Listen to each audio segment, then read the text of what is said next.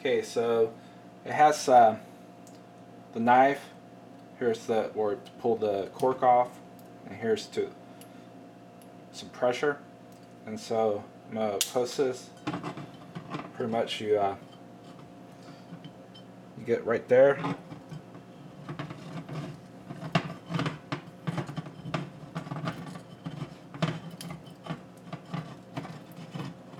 Then you lift it. Don't try and cut yourself.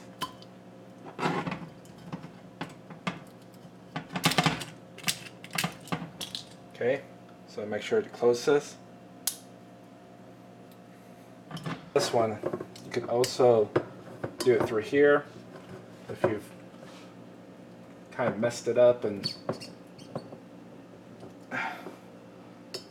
so it gives you the option to do it more down you messed up the first time in the top. And so there you have it